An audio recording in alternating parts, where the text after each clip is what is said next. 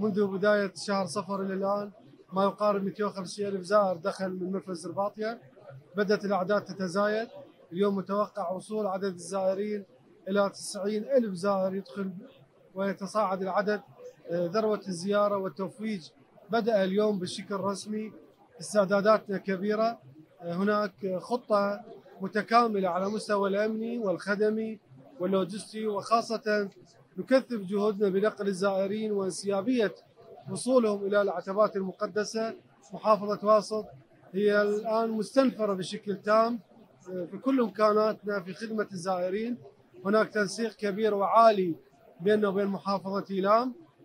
وهناك غرفة عمليات مشتركة على مدار ال 24 ساعة ننظم من خلالها تفويج الزائرين وحل المشاكل. كل الزائرين الذين يدخلون عبر منفذ زرباطية هم لديهم وثائق رسمية يتم إدخالها كبيانات رسمية وختومات وفق نظام الجوازات المعتمد. آه، التنسيق الكبير هو يولد انسيابية في العمل وإن شاء الله تعالى بدأنا من اليوم آه، نتواجد في منفذ زرباطية وندير كل إمكاناتنا على مستوى الإداري والخدمي وهناك جهود كبيرة يبذلها السيد وزير الداخلية من خلال التنسيق الأمني مع الجانب الإيراني. إن شاء الله تعالى هذا الموسم يكون فيه انسيابية كبيرة آه، كل إمكاناتنا لخدمة الزائرين لوصولهم إلى العتبات وعودتهم إلى بلدانهم آمنين وبسلامة تامة. بسم الله الرحمن الرحیم خب امروز مفتخریم که حضرنا اليوم آه، المراسم التي تقام لأول سنة هذا العام في آه، النقطة الحدودية بين الجمهورية الإسلامية وبين آه، العراق المتمثل بمحافظة واسط.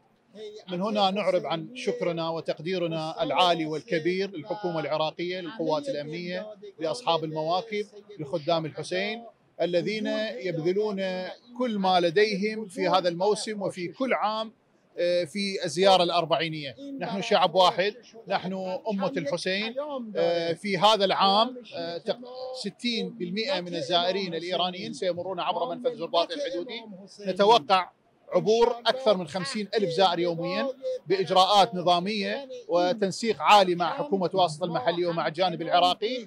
آه، الزائرين في الجانب الإيراني أعداد كبيرة جدا. من الآن بدأت آه، جموع الزوار تزحف. آه، نعتمد ونعتمد على آلية مشتركة بين الجانبين وهو تفويج أعداد محدودة آه، من الجانب الإيراني لكي نتلافى أي حالات زخم آه، أو آه، يعني ازدحام شديد آه، على المنفذ وإن شاء الله جميع الأمور تجري بانسيابية عالية آه، ومتفق عليها. أيضا ساهم الجانب العراقي بعدد كبير من الشاحنات والمواكب والباصات ويقدم الكثير من الخدمات الطبية وخدمات النقل وخدمات أخرى كثيرة. أيضا هو جدد شكره لكل العراقيين لهذه الخدمة السنوية لما أسماه هو تحديدا بأمة الحسين التي تتحد في كل عام في مثل هذا الوقت.